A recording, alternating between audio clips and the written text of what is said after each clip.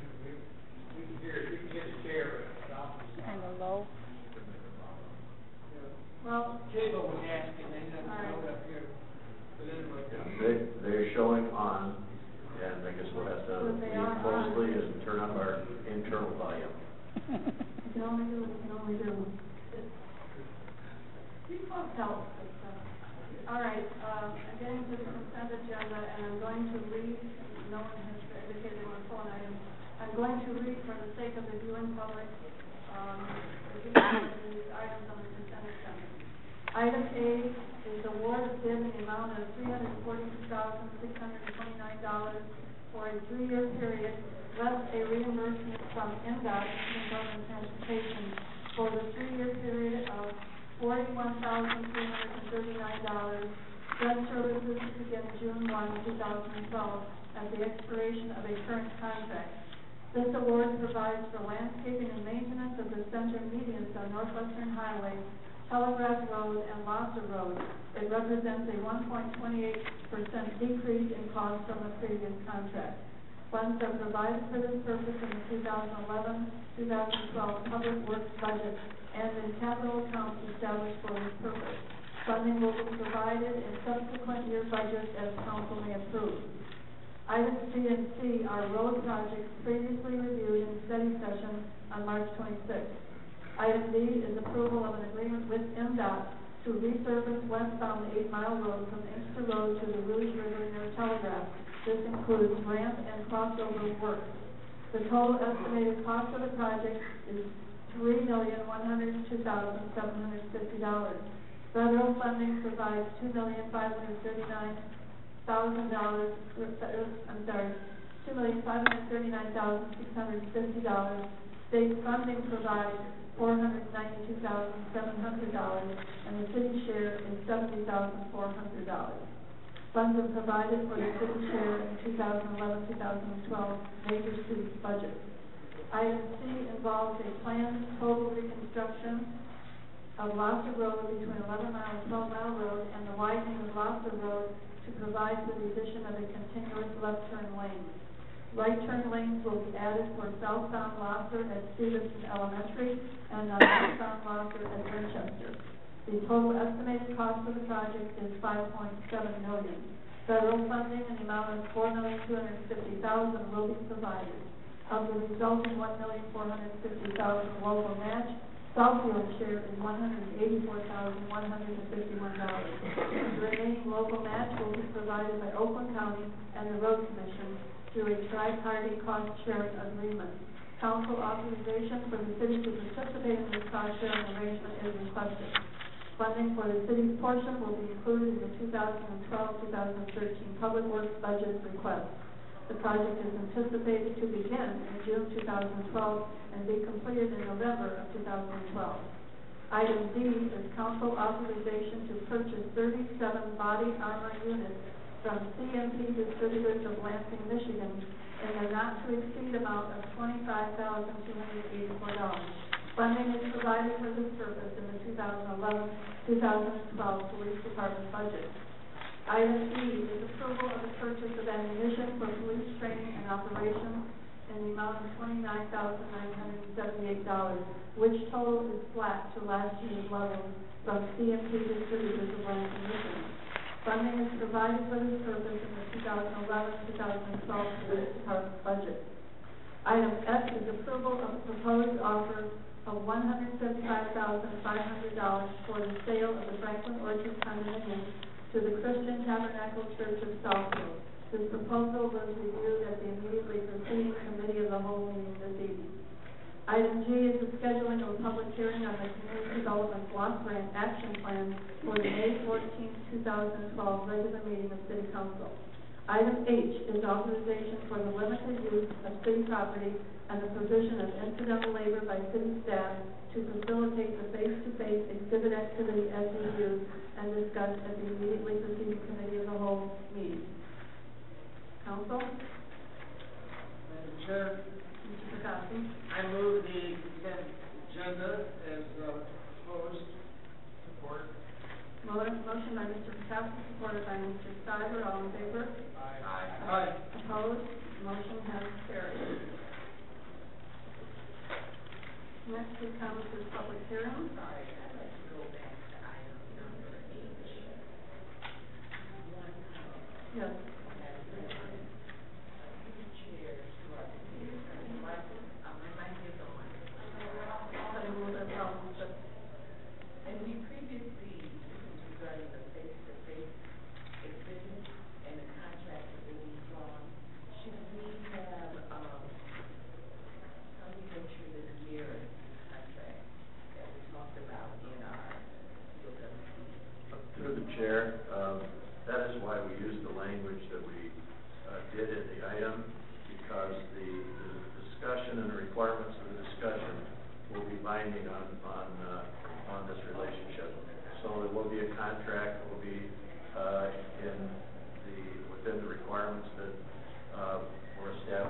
in the uh, discussion immediately preceding this meeting. Right, I Study will session. incorporate the terms that were discussed in previous hearings.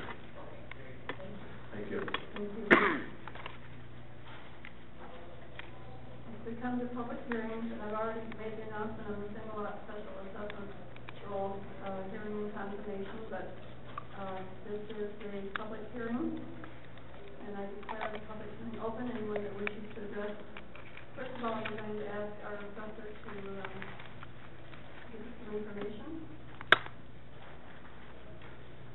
Good evening, Madam Chair, uh, Mayor, members of the City Council. My name is David T. Jorena, I'm the City Assessor. And, uh, Section one thirteen of the City Code mandates the procedure for assessing costs, uh, certain costs, uh, incurred by the city through assessment process. These costs are, uh, charged throughout the, throughout the past year by various departments. And if they're not paid, they become a lien on the land and then placed on the tax bill via a spe- a single lot special assessment. In accordance with that code, the assessor shall prepare an assessment roll covering all such costs, and the council shall schedule a hearing for confirmation of the assessment roll. Such assessments and all interest and charges thereon from the date of confirmation of the roll, uh, be and remain lien on the property assessed. Uh, therefore my recommendation that, uh, your honorable body conduct a public hearing and approve the attached resolution confirming the single lot special assessment roll.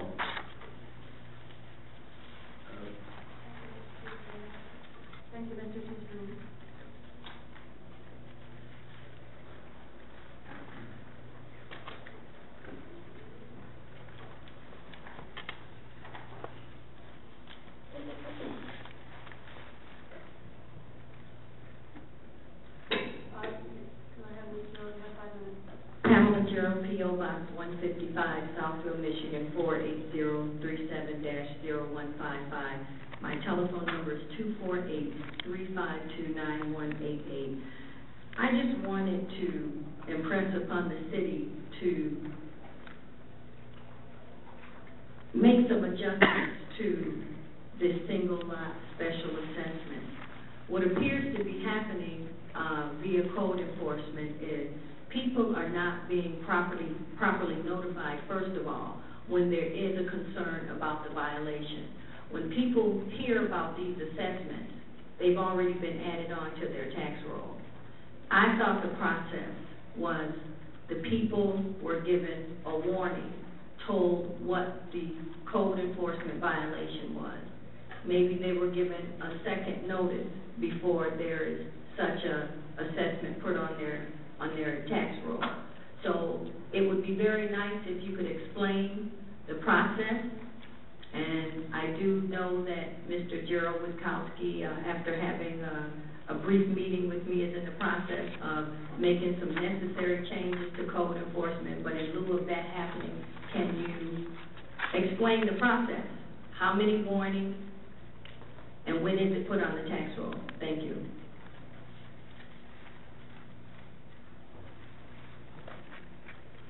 Through the chair, uh, we'd be more than, uh, than pleased to provide a report to the city council, uh, that outlines procedural safeguards that are involved, uh, as well as, uh, meeting all the requirements, uh, should a matter, uh, um, have to be adjudicated. So we'll be glad to, we'll be glad to provide a, a, uh, a report in that regard. Thank you. Yes, I just want to, to state so that, uh, that we have, uh, all the notices that we have sent out and they go as divided and they follow the, uh, process, uh, legal process and, uh, and is leading to the public hearing tonight.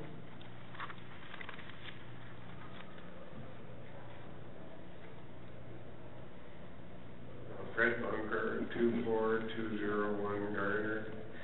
I'm, I, I guess maybe I would have done my homework. It's, I'm not sure the, the basis of the special assessment, is this directly with code enforcement?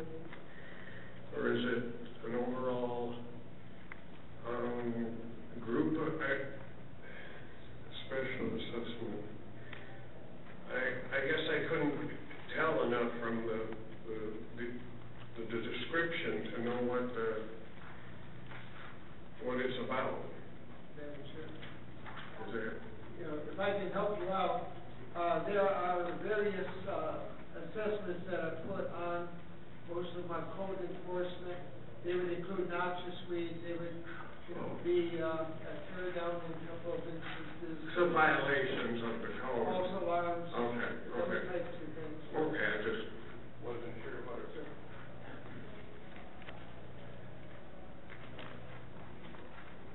Anyone else who wishes to speak to this issue, public hearing is open. If you have an issue and you haven't, uh, and there is staff at the back of the room, for anyone that has a special concern, that is your option. Name and address, name and address, for the record. Pardon me? Name and address for the record. Oh, Carol Washington, one eight three four zero, New Jersey, Southfield four eight zero seven five.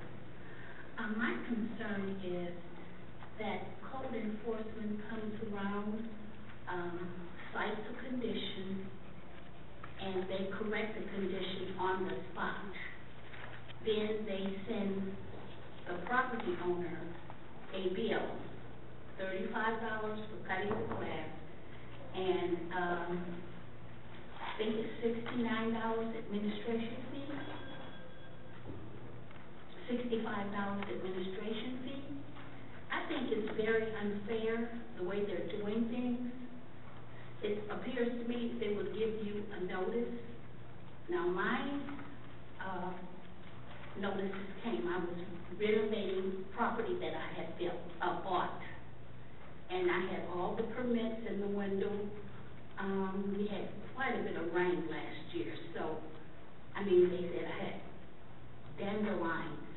So they came, noticed the dandelions, called the people to cut the grass within an hour.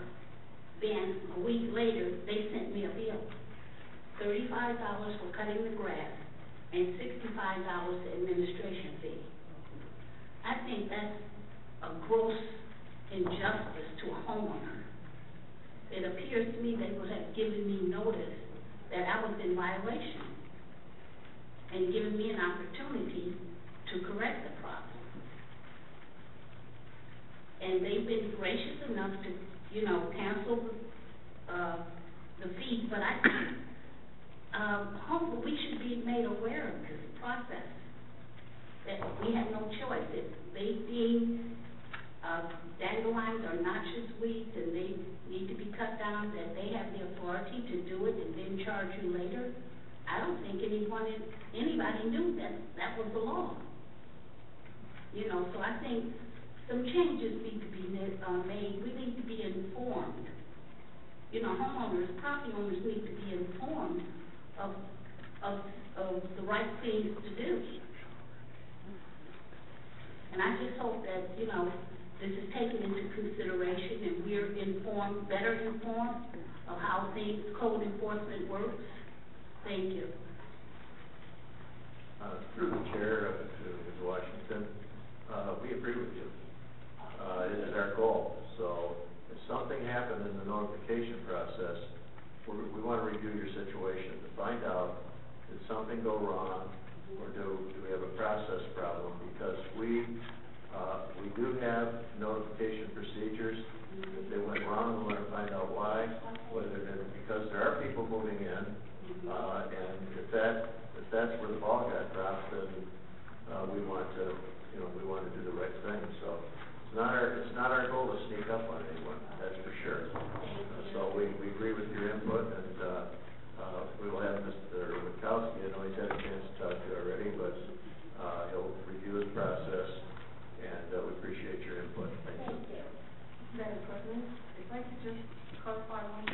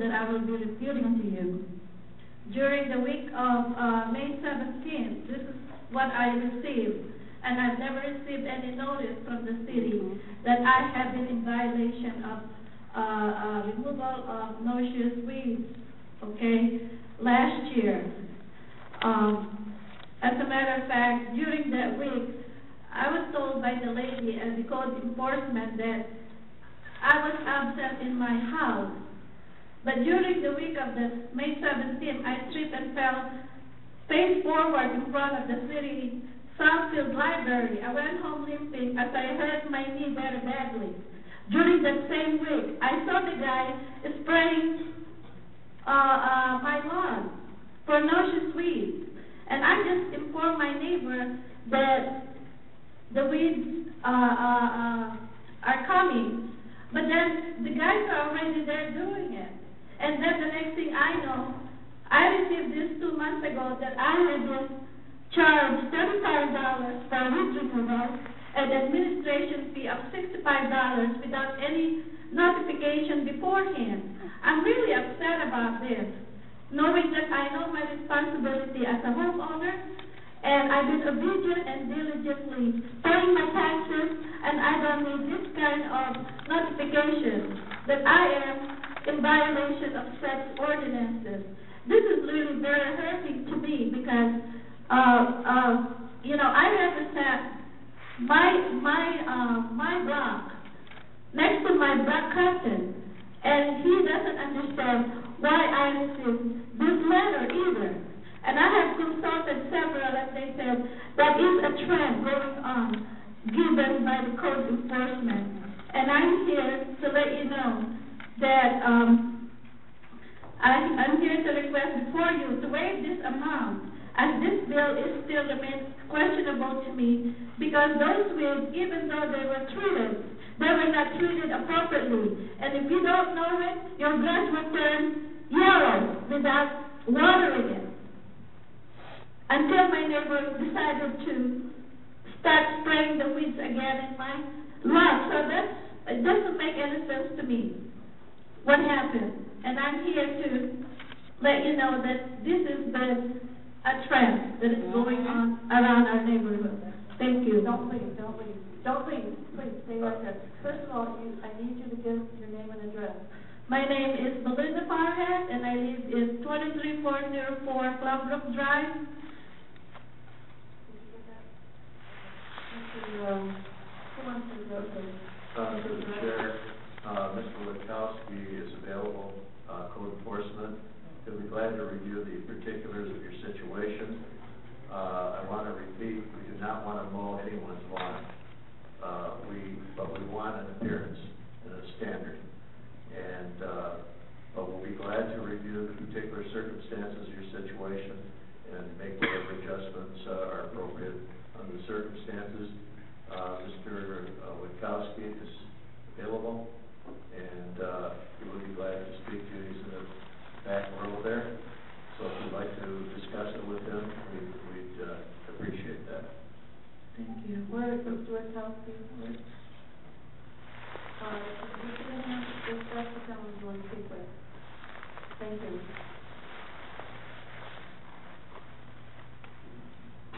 Hey everyone, Stephanie English, two eight seven three five San Carlos, uh, Southfield four eight zero seven six. Um, I'm here to speak on the issue too, but I want to give a fair balance.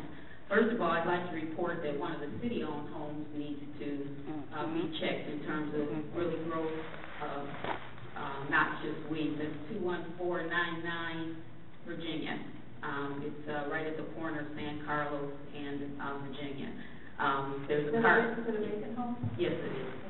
Um, but it's a carpet, and, um, Mrs. Coffey, um, your friend, Mr. Mullen, that lives on the nice house on the corner, was concerned, the one with the black iron fence, so he was gonna get some help from you, but I told him I would relay his concern. Mr. Zorn uh, knows about that address, and Yeah. on vacation, it's supposed to be followed through. Okay, well, that gentleman has the showpiece home, but that, uh, city-owned home is actually spreading, uh, lots of weeds to his, uh, lawn, and he is the showpiece home of, you know, these particular blocks. But the other balance I'd like to give is, on behalf of my neighbors, to give the balanced perspective that you can see when weeds are coming. And right now, I agree with Mr. Charette, I posed this comment at the roundtable. We have to have the highest standards to maintain the increase in our home values. Curb appeal is it. Curb appeal and the appearance of safety is it. One house is almost like a rotten apple in a barrel. It, it can touch the fruit, the good fruit, and it just starts to decay the other fruit. I understand that some people, uh, may have a, um, budget issue or whatever, but that is the price you pay for being a homeowner, and that is the only thing that is going to increase value. I don't even care what the house looks like on the inside, the outward appearance eats up and increases in increments the direct value to the home. So the curb appeal becomes a business decision that each homeowner should take upon themselves, that they are actually giving financial benefit to themselves. It is a touchy situation to go to your neighbors to say, could you just clean it up a little bit? But if you make it in a financial picture and show that the values do go up based on the curb appeal, then you're giving a fair incentive to the homeowner. It's something that we just don't have room to really make waver on. We do need to be sensitive, we do need to exercise the best communication opportunity, but it is not something that we can waver on. I told, um, some of the leaders that were at the cold roundtable, I don't have a problem with failure, but I have a problem with low aim. We cannot afford to keep the status quo, we have to increase our status quo and make our benchmarking higher. But I do understand it's touchy. Two years ago, when I was here, I asked about going to Home Depot because I had gone to Home Depot and they were willing to publicize bulletins based on our code, uh, requirements and actually offer on a city basis, if you could prove that you were a Southfield citizen, they were gonna give coupons for fertilizer. So that could possibly, even though it was two years ago, it could possibly be a remedy. Do you know, Mr. Shred, if this is a vacant home that she's speaking of? It's our home. I've, I've noted the address, and we will take action tomorrow we'll- we'll on that issue. Thank you. All right. Anyone else that wishes to speak about their assessment, if they have one? None, I declare. Chair, Mr. Gossett? Madam Chair, I move the, uh, resolution on April twenty-third, I'm sorry, date April twenty-third, two thousand twelve, amount of two hundred sixty-seven thousand, two hundred twenty-two dollars and thirty-one cents. Uh, first of all, I want to close the public hearing. I thought you did. Well, you started to. All right. Go ahead. Oh. Motion by Mr. Pataki, is there support? I move the assessment roll. Here's another. I'm sorry, I, Can't you Really? hear back there? pardon, Can you not hear back there? I can't. It sounds like I you're not can't. getting through to you. part of it is me, Well, the- I don't know what's wrong with the mics, but we're, I mean, we're talking loud and we've got the mics right up here, so I don't know what's wrong with that. Go I'll I'll withdraw my motion. All right. I'm, what I, yeah, we moved on from the, uh, uh, public uh, comment with a request for recognition. Is that what you're saying? No, no, we're, in- we're in the special assessment. This is strictly the special assessment public hearing. This is not the public comment period. Public hearing jury public hearing A Okay. under your agenda. Madam Chair, let me repeat that. Yes. Uh, This session is closed.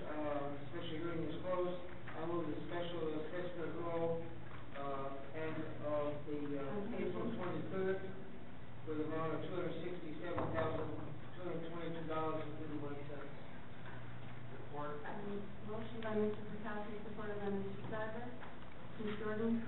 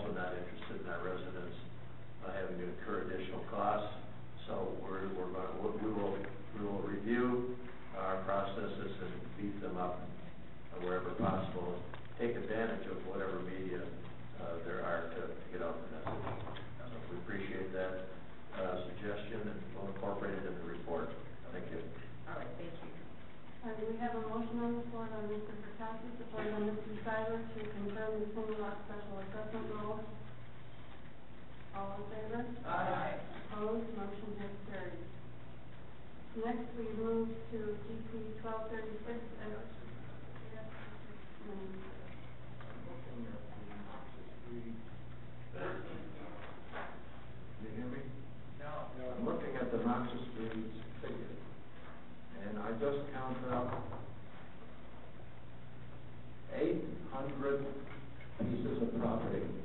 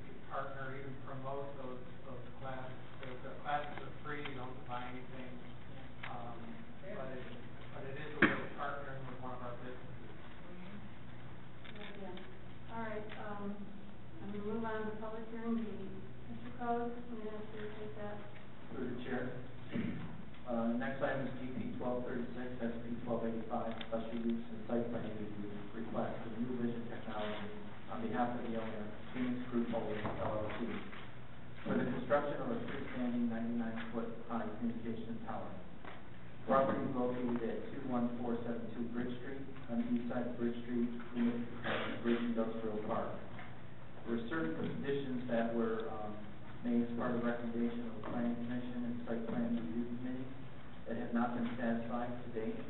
Therefore, I am recommending postponement of this public hearing to a date certain, June 18, two thousand twelve. June 18, did? Yes, June 18, two thousand twelve, your regular meeting. Everything. Yes, June 18. postpone Um, June I-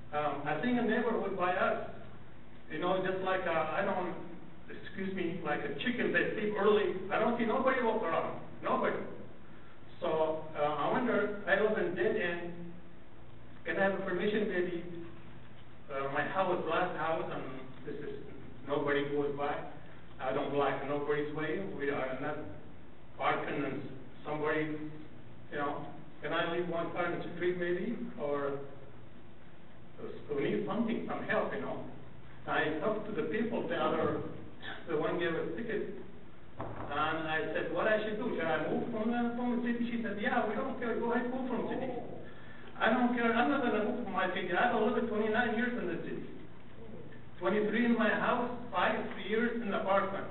And that lady tell me she don't care, I have to move, because I park one foot from the sidewalk, this is not right. That's it. Thank you. Thank you.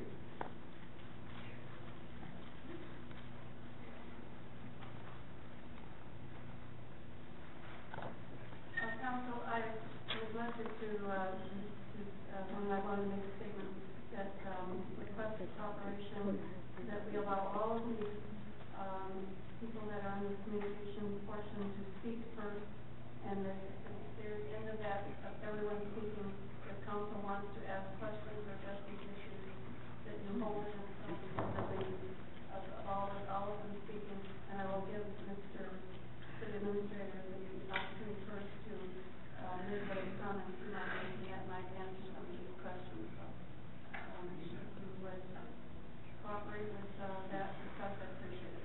Next, we have a request for recognition of Mr. Gerald Mullen.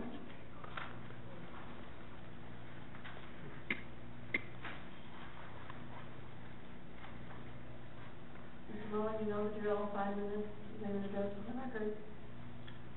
Madam President, my name is Gerard Mullen. Sorry, I'm doing that to Gerard. It's okay. Apologize. I have it in my mind that, I understand. okay, forgive me. I forgive you.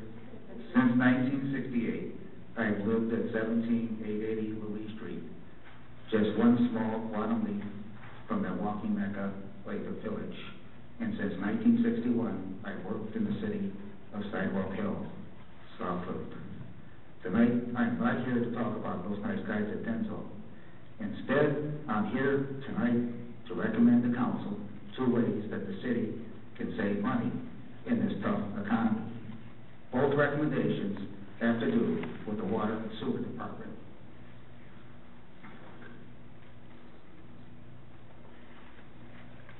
My first recommendation is that the water department eliminate the extra enclosed return envelopes that arrive with the water bills, which are mailed out to the residents for accounts like mine that have electronic debit.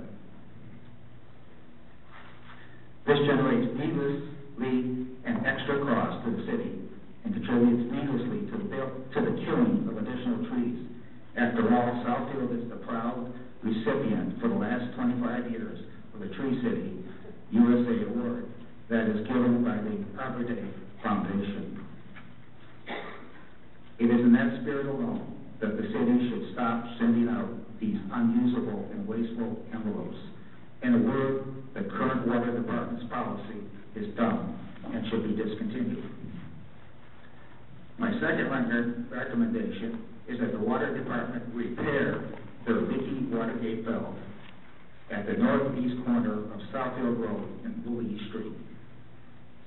I reported this problem to the water department last November, and since then it has been leaking at the rate of about a quarter of an open fire hydrant through its own manhole cover and into two adjacent catch basins. This has to cost the city by now tens and tens of thousands of dollars. I know that this is not an emergency, and that the water and sewer department is currently backed up. But a response time of over five months seems unreasonable to me. I know no city's perfect, not even that miracle on South Southfield Road, Lathrup Village. Although I've heard that they have a terrific EMS and fire department. But I believe that Councilman Fraser knows a hell of a lot more about Lapis Fire Department than I do. Thank you, Madam President. Thank you, Mr. Moore.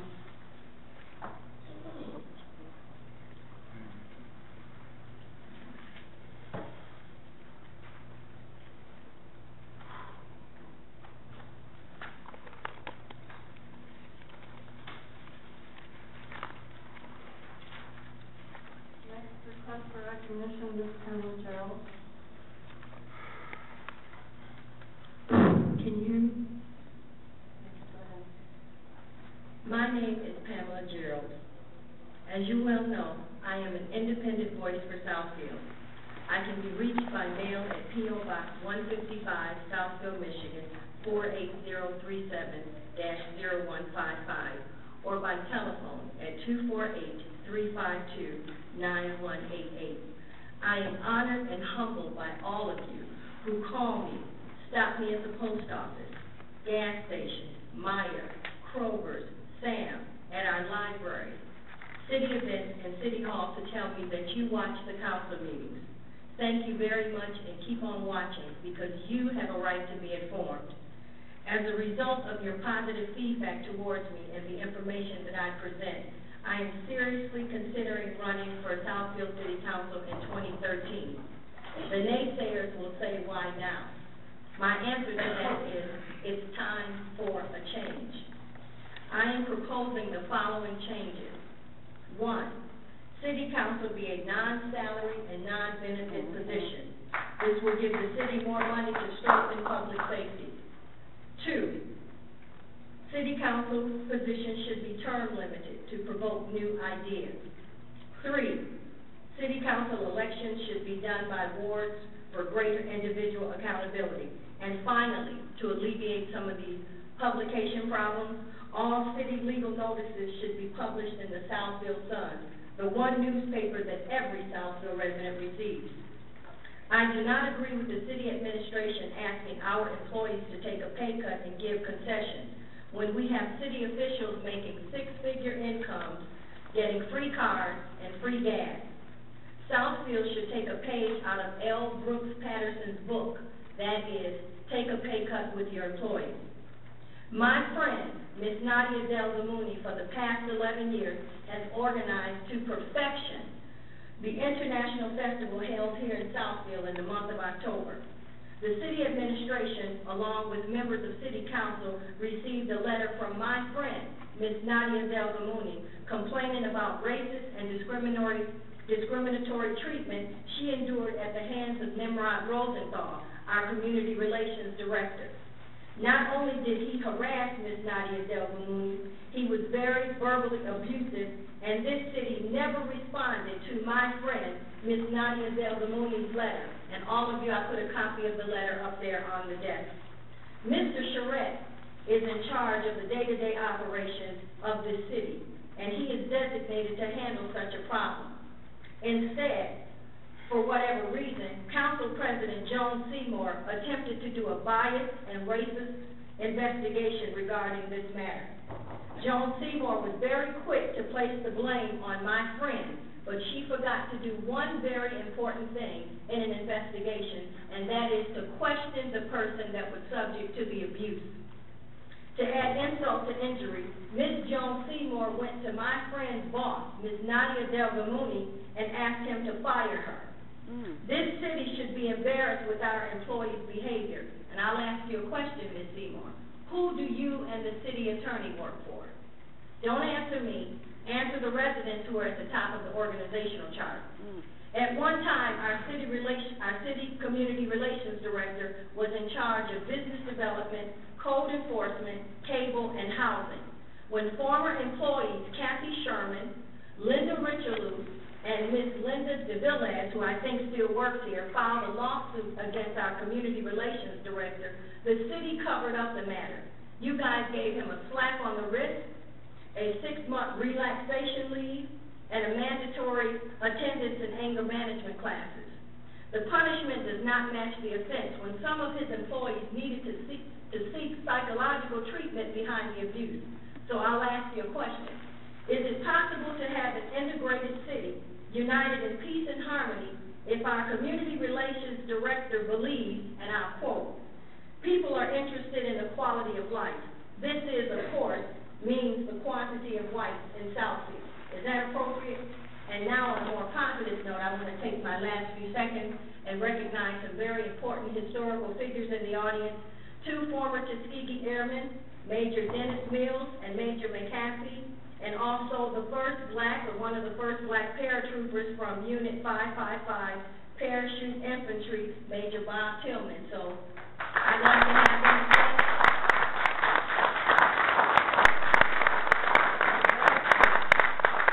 And it would be very nice if council would, uh, shake their hands as we, uh, do a lot of, um, memorial and, uh, uh, Veterans Day things. Thank you. The time is up.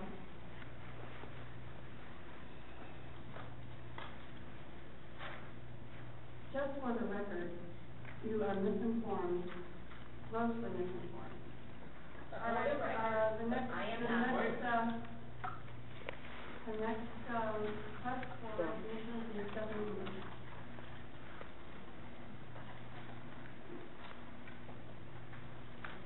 Okay, what's the new procedure? Am I supposed to say my name at the end now? No, Okay. no, just normal Uh, Stephanie English, two eight seven three five, San Carlos, Southfield, four eight zero seven six.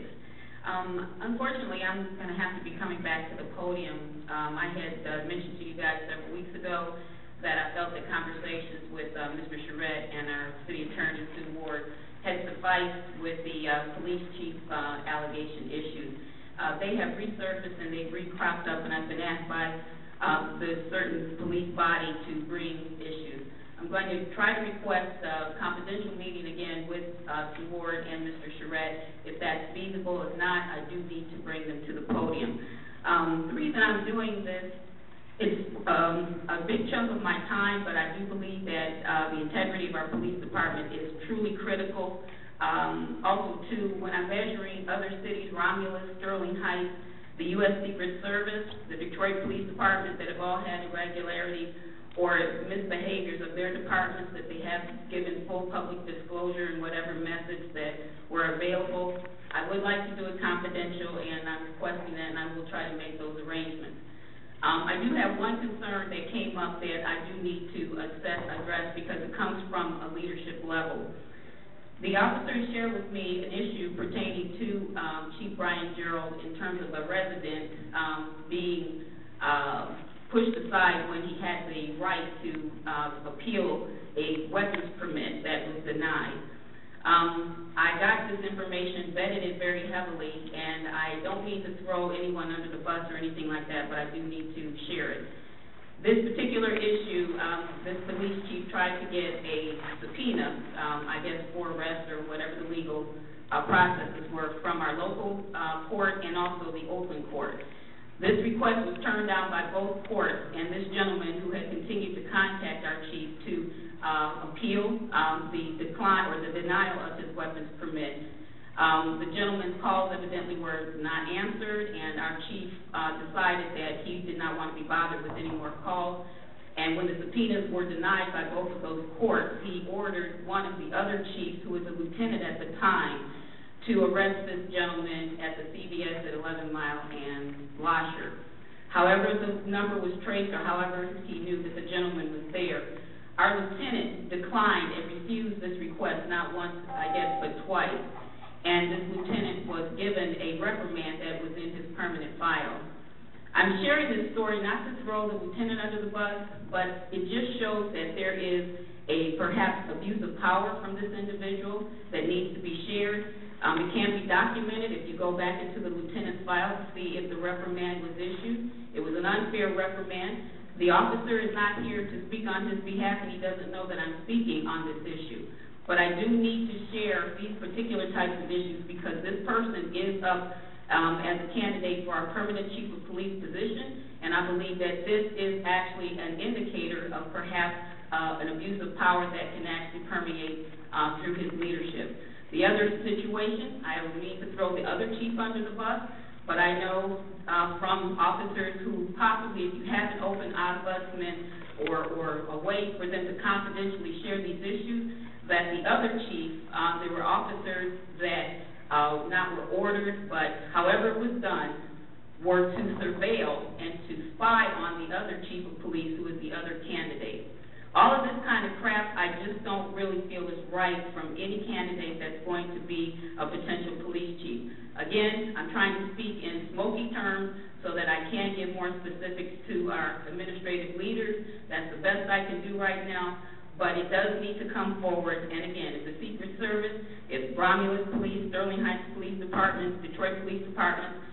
Whenever there is a problem with their police departments, if they give disclosure, we need to have the same openness, and I'm asking for that transparency.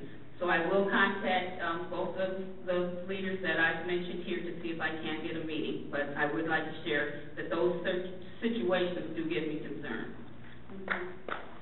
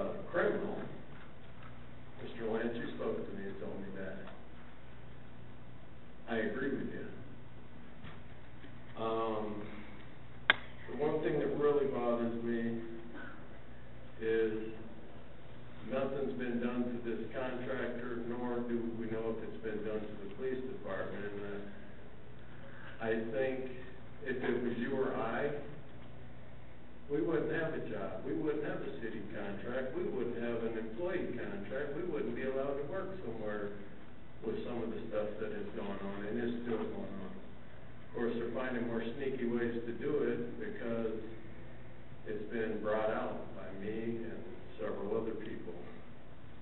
Um, I'll list a couple things so the citizens know what I'm talking about.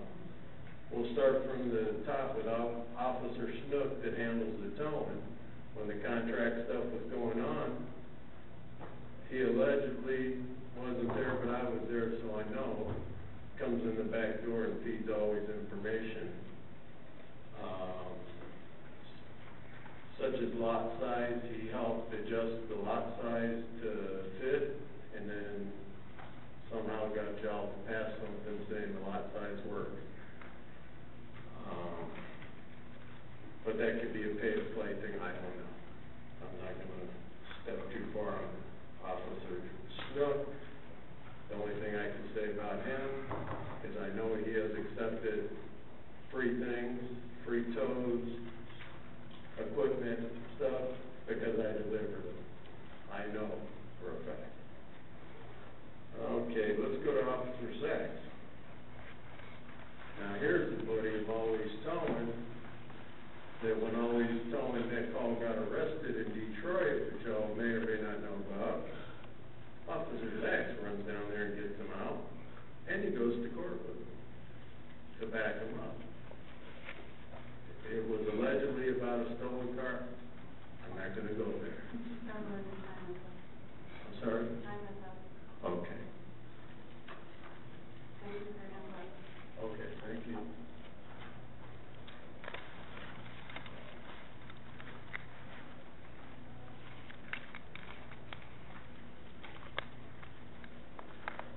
Next, we have a request for a community, oh, this is Mr. Tony Rose. Mr. Rose here? Anyone else?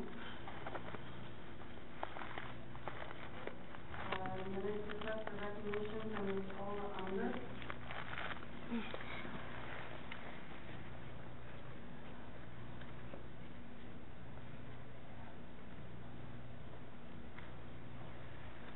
Before you start, Ms. Unger, I need you to give your name and address for the record, and your time will start when you start speaking.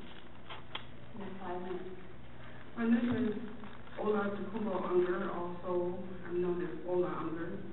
My address is two nine six two zero Wildbrook Drive, Southfield. I come to the council tonight with a heavy heart because about a year ago, I called uh, EMS because I was having I was, um, they came out and they mistreated me and they abused me. I wanted some oxygen. I told them I needed some oxygen. And one of the fellows told me, he asked me, he told me, are you trying to tell me my job? I said, no.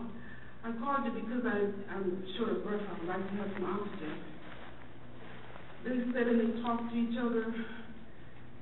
And uh, they wasn't sitting, they were standing up, but they were talking to each other. I, I thought I was dying. Um, the, the fumes from the EMS truck was coming all up in my face. I already had shortness of breath. Um, they wouldn't give me any oxygen. I made sure that when I came out, I had my driver's license and my insurance card. Uh, they treated me just as though I didn't, I didn't even exist. When I got into the EMS truck, the fumes were all in the back of the truck. I asked for some more oxygen. The fellow just put the things up to my nose, and he closed the, closed the doors. And I really felt like I didn't have any oxygen then, and there was nobody there sitting back there with me. I was so afraid I was gonna die. On the way to the hospital, I asked them why they didn't have the sirens on. And the driver told me that uh, it was the time of the day that they, they couldn't they couldn't have on that time of the day. It was in the afternoon. And, uh, and so I have uh, since that time I have asked for records from the city. Um, I was not provided with any records. So I want you to know that I was mistreated and abused by EMS on May the eleventh, twenty eleven. I have provided you with plenty of information. I have, I have, uh, emailed, um, I sent the information to everyone yesterday. You can review it later if you wish. I have been frustrated in my efforts to obtain information from the city. It seems that I was not taken seriously until I asked to be placed on this meeting's agenda. I would like you to look into the issues I have raised. They are clearly described in my letter on March the second, twenty twelve.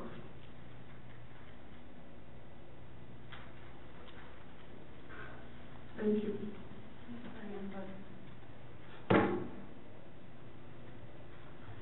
Yeah, when I was, I asked them to, I have collar, and I asked the person to go into my house and get my neck collar, and he refused to go into the house.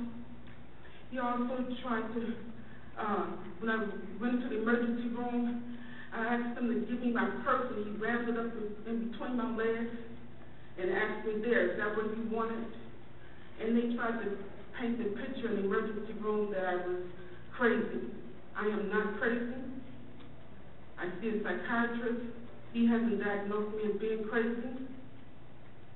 I'm a veteran of the United States Navy. I worked on the psych unit. I am not crazy at all. I have been traumatized.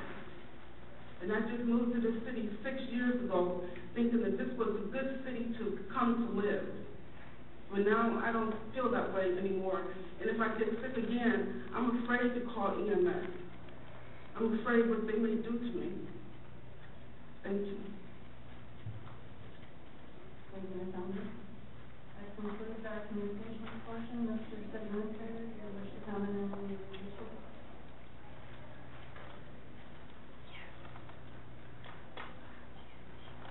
Yes, as a matter of fact. Thank you. Uh, with regard to uh, Mr. Keikos, uh, we will review the situation. Uh, However, uh, well, a couple of things. Number one, there's a special occasion uh, where more cars need uh, uh, a social activity or a family uh, function. Uh, We will be glad uh, by request uh, to issue uh, a permit which will, which would allow uh, parking on, on the street and there will not be any uh, violations uh, uh, coming your way. Uh, However, with regard to uh, an overall waiver of the ordinance, uh, that would be inappropriate. Uh, We do not have the authority or the power uh, to do that. Uh, We'll be glad to work with you in any way we can. And it's my understanding that part of the problem is just uh, possibly an unwillingness to, to uh, jockey some cars back and forth. Uh, uh, But uh, if I'm, if I have wrong information, uh, I apologize, but that's, that's uh, an understanding I was given. So again, we will review the matter, but we cannot waive uh, the ordinance unilaterally. We do not have that authority. Uh, With regard to Mr. Gerard Mullen, uh, I want to thank him for his comments uh, with regard to the return envelope as well as the water uh, gate valve. Uh, Second item, both items actually will get attention tomorrow. Um, Most appropriately, the water gate valve immediately, and we will look into the envelopes. Uh, We appreciate the, uh, any input to save public dollars. Appreciate that. Uh, With regard to uh, Mr. Scarborough's comments, uh, we are reviewing the current contract uh, for towing services. Towing services are really uh, what Mr. Scarborough is uh, focused on. Uh, He does know a lot about uh, the field. We've spent several hours listening to uh, his input. Uh, We feel it's only fair to listen to the input from uh, all, uh, all of the functions involved. We are into a deep review of this subject, and uh, we will address uh, any problems there are with this contract going forward. And uh, we uh, do not uh, participate in some of the uh, items that uh, are are indicated, indicated in his uh, comments. Um, And last but not least, uh, Ms. Unger,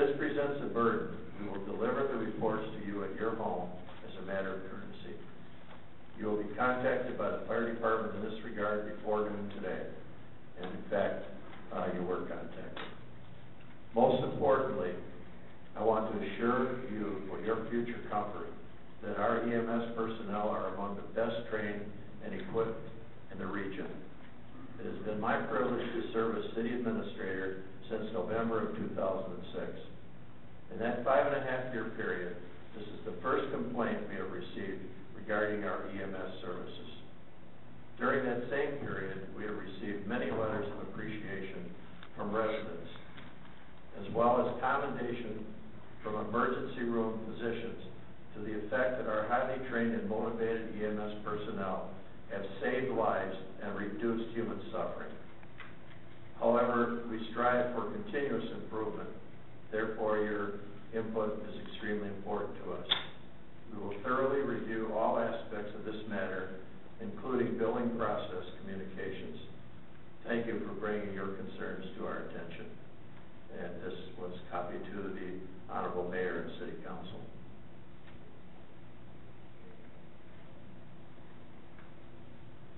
Well, that concludes uh, my comments, Madam Chairperson.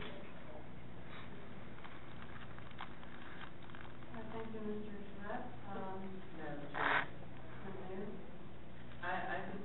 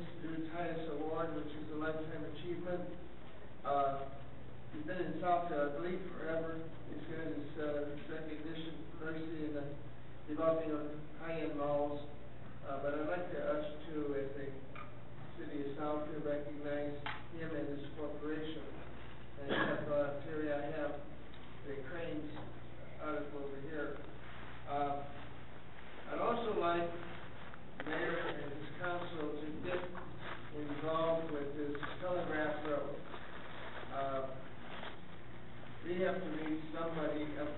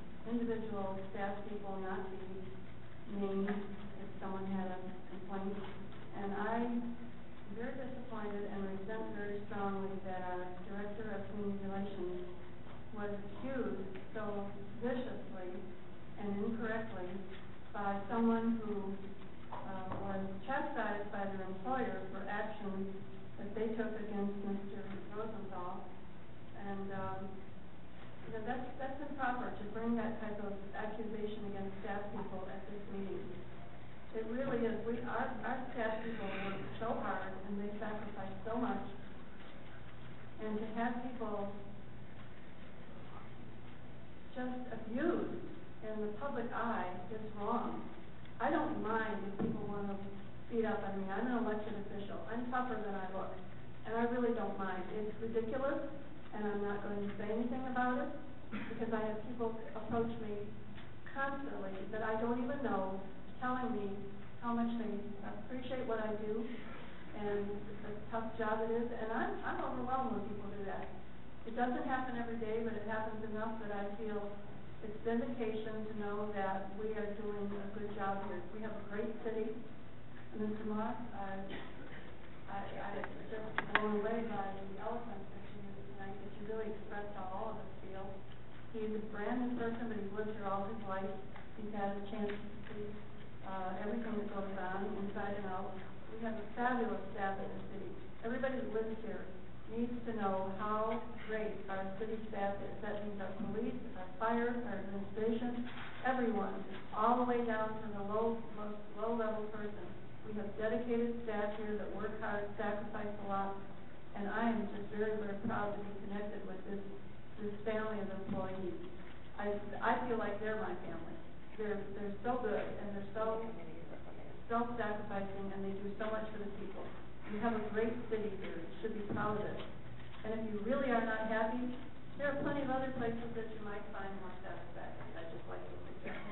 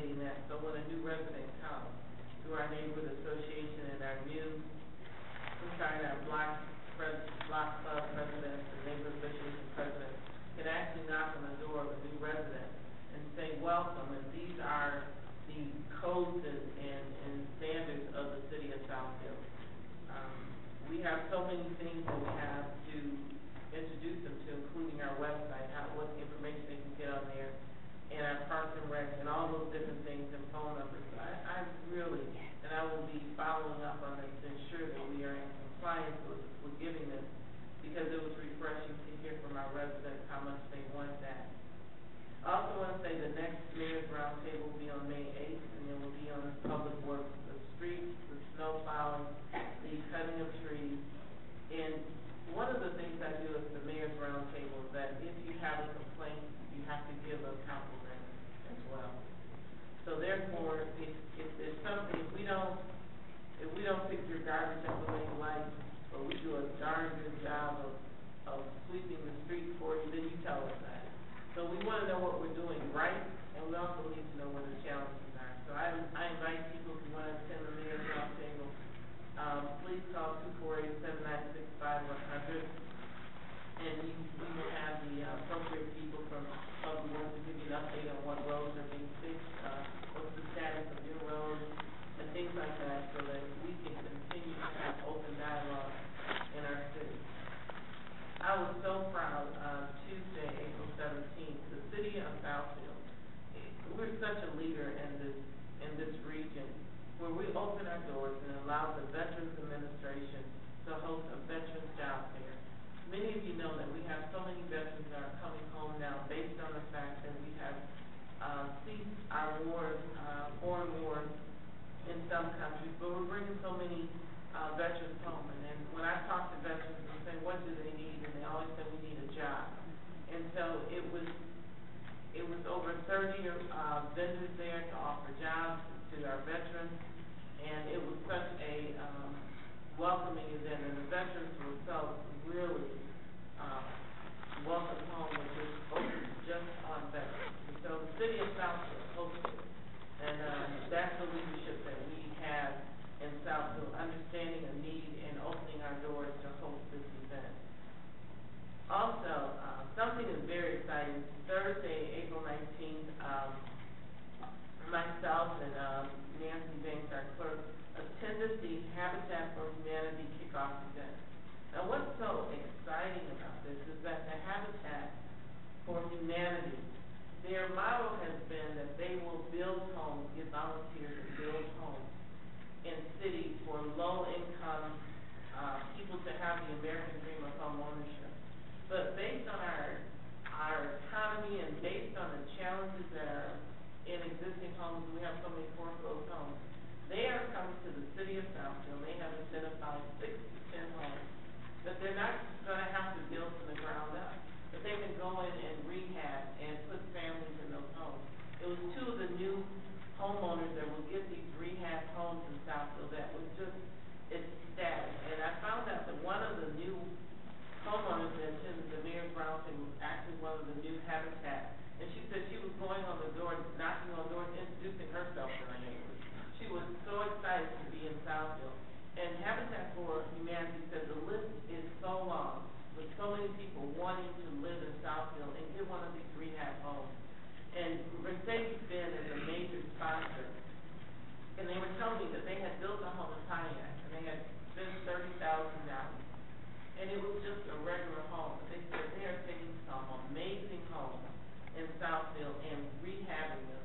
And, and, and these families are gonna get some tremendous, tremendous property.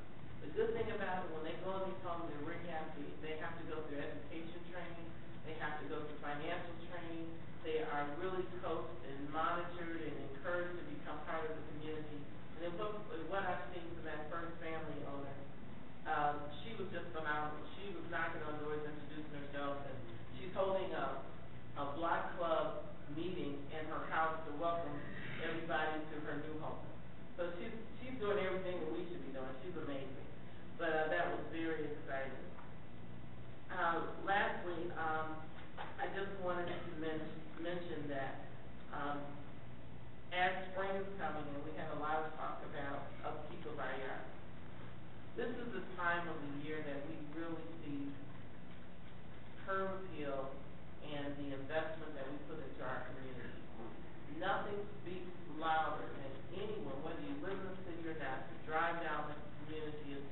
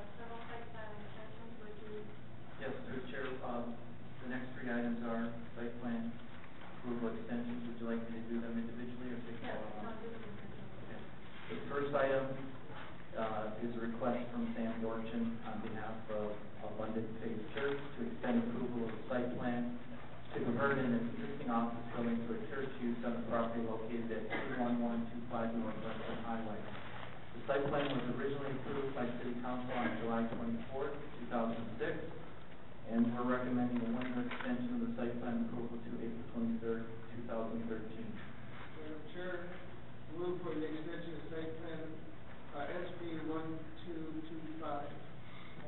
Date again. April twenty-third, two thousand thirteen. Um,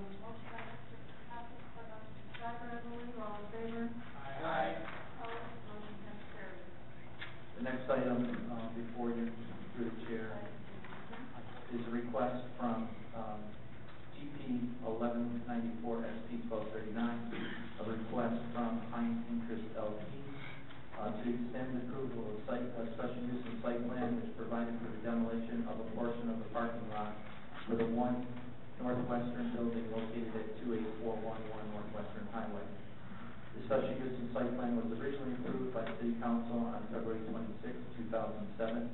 It is our recommendation that the city council approves a one-year extension of the special use and site plan approval to April twenty-third, two thousand thirteen.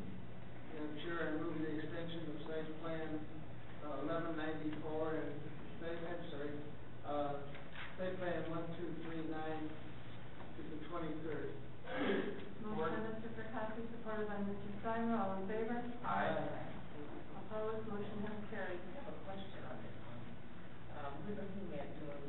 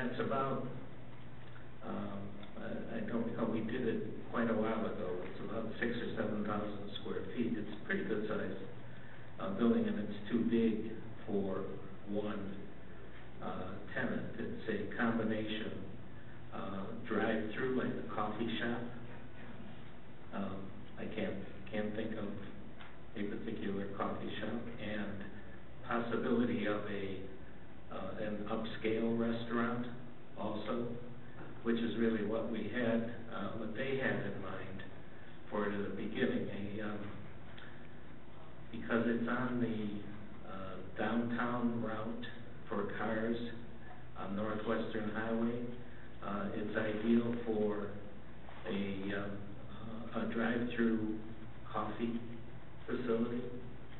And the rest of it would be for, um, if you recall, when, oh, you were, you weren't here, but when we were doing the Golden Corral, uh, Mr. Fracassi was hoping for an upscale restaurant, and that's what we were hoping for, for this particular site. Uh, they just haven't found one. And, uh, uh, but they are very interested in developing it still.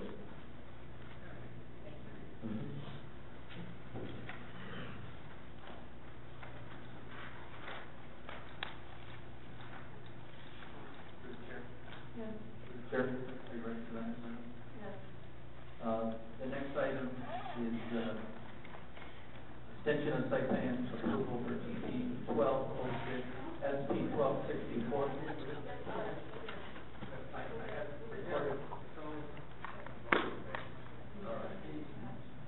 To request, um, um, GP twelve oh six, site plan twelve sixty-four, um, from the property owner Loretta Green, representing Alex Green III and Associates, to extend approval of a special use and site plan to convert an existing residential structure to office use with associated parking on the property located at two three five seven four Southfield Road. The special use and site plan was originally approved by city council on March thirtieth, two thousand nine. And, uh, we are recommending that the council approve the one-year extension of the special use and site plan to April twenty-third, two thousand thirteen. Is that a restaurant? It's, it's an, it's a residential that want, need, wanted to be converted into office, and they need to add to, uh, the square footage to meet the minimum office requirements. So moved. Motion by Mr. Sedgwick, supported by Mr. Moss, all in favor? Aye. Opposed, motion has carried. Go ahead, Mr. I just have one comment, is that okay? You're done, I'm sorry. Um, do you represent the, uh, owner? I am the owner, Oh, yes. Um, it's, it's owned under our business name now, Between the Third Associates. Can you give us a name and address for the record? Oh, it's twenty-three seven fifty-four Southfield Road. Loretta Green, green like color, without the E. To Mayor Lawrence, pleasure to see you today, and to the council, I wanna, I terrific meeting, I'm glad I didn't miss it. To your Councilman Moss, kudos to your accolades about this city. That's exactly why you invested in this city long before you were born, over thirty-some years ago. Okay? But I've been, I've been suffering lately with the city of Southfield. I have a brick building on Southfield Road between nine miles and ten miles. It's impeccably kept. It looks like a picture out of, of- out of, uh, Rockwell, painting. And it's been vacant over five years. Cost me a lot of money. And just recently, yesterday, a woman wanted to lease the building. And I told her she couldn't have it for her business because it was owned residential. She didn't, I don't think she believed me. I, I get about ten to fifteen calls a week to this building. And when I tell them they can't lease it because it's owned residential and it's on Southfield Road, they don't believe me. I've really instructed them to call the city of Southfield to see why I can't lease it.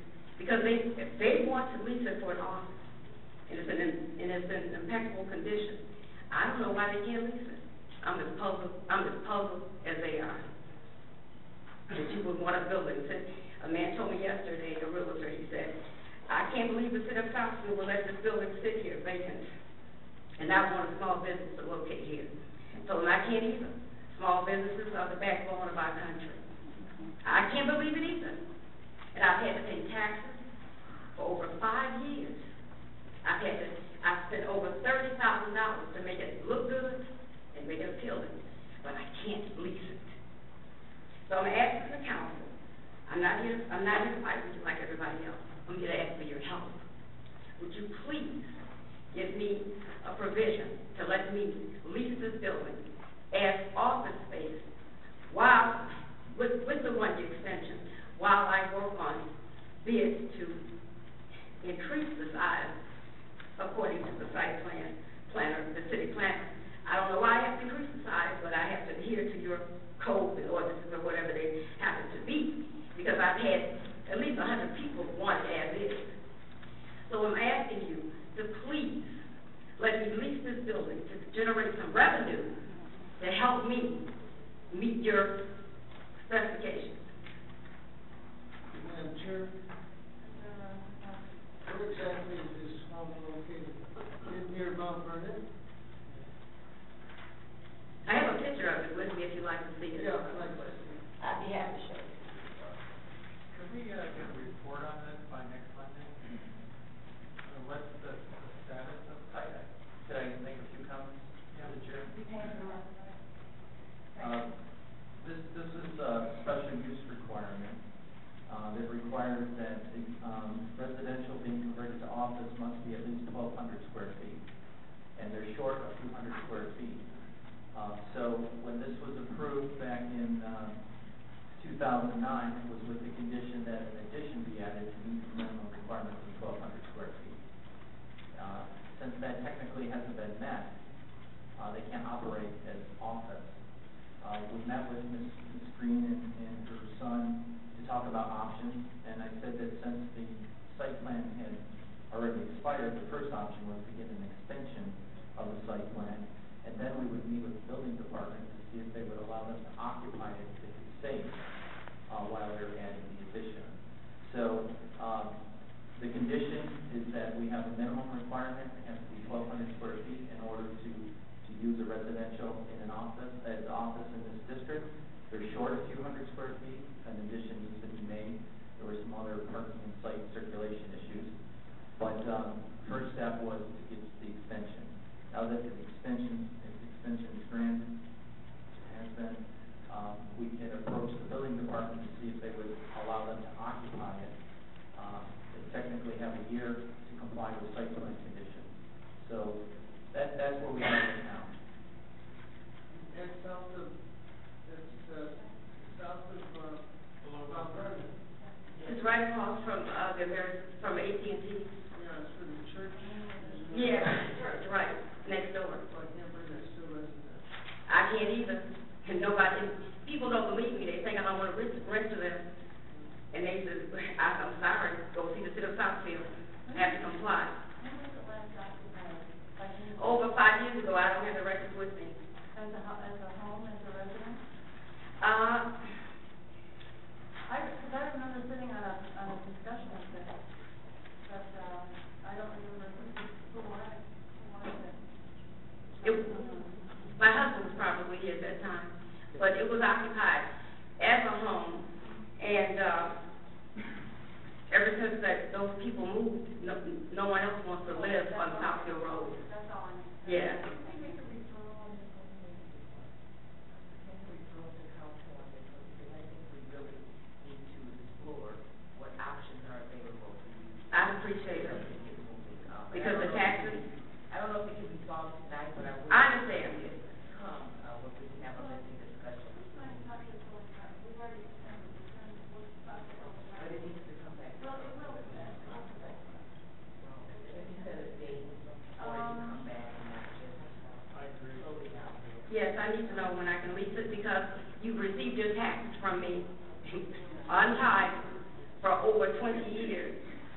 I can't even read.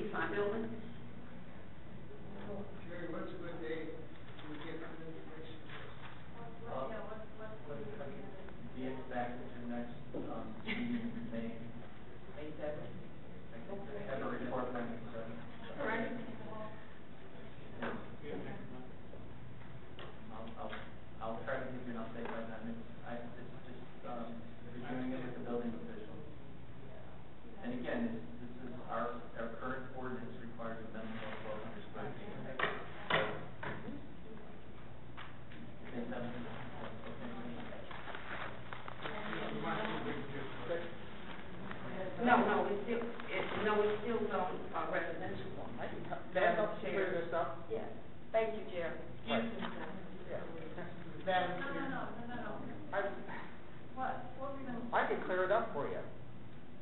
Oh, forget it. I live right next door. I knew her husband. Madam Chair, the, the other issue that I really hope that we do allow the occupancy, because that would give her the revenue in order to get her, get the. So, that would be It is OS. Oh, it is OS. Yes. It is. Office, it is, it's a, they said it's not office services, it's ZOS, It is. and it was approved on uh-huh. condition. Uh, Ms. Green, Ms. Green, we are going to, we are going to look at this and we will, uh, deal with it, uh, at least by the, uh. By May seventh? We'll have the meeting on May seventh. Oh, okay. We have a meeting on May seventh, we're gonna see what we can do to. Please, I think